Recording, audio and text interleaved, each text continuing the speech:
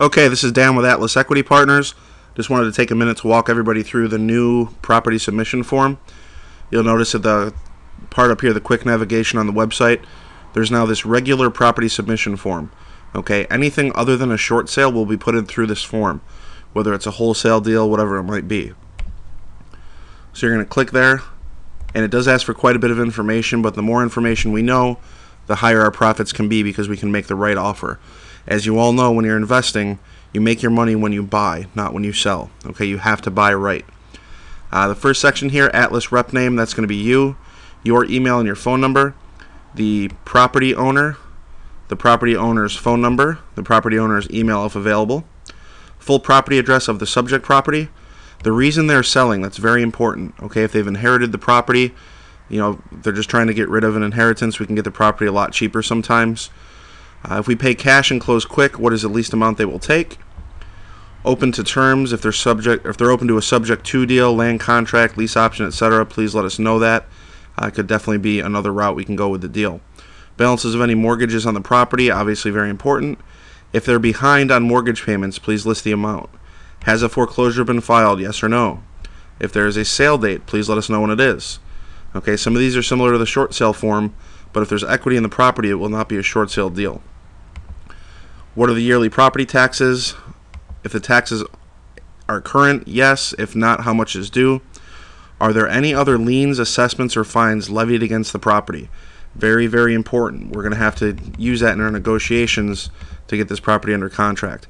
If we get a house for $10,000 and there's 10000 in taxes due, and we have to pay them, or they have to pay them, it makes a big difference, obviously. It's a huge swing. Uh, what type is the subject property? This is going to be a drop down single family, condo, two unit, three unit, four unit, manufactured or modular, apartment building, or other commercial. Okay, make sure you make the correct selection there. Number of floors of the home, number of bedrooms, number of bathrooms, what is the square footage, the lot size. Uh, you can either put 12,000 square feet or you can put, you know, 100 by 120, whatever you have access to, that's fine. Is there a garage, yes or no? The garage type, whether it's attached or detached, and if it's a one, two, three, or four car.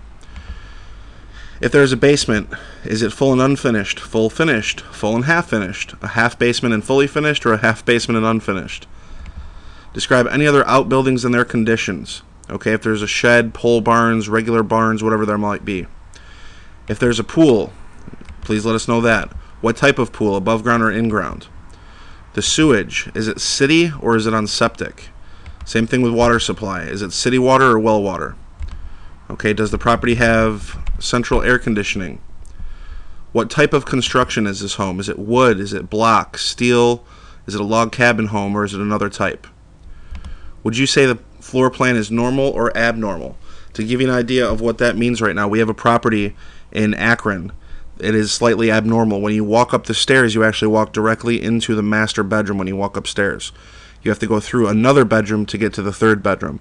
So it's a little abnormal. On here, you would just select yes, or I'm sorry, select abnormal, and then just type in what I just said, why you think it's abnormal.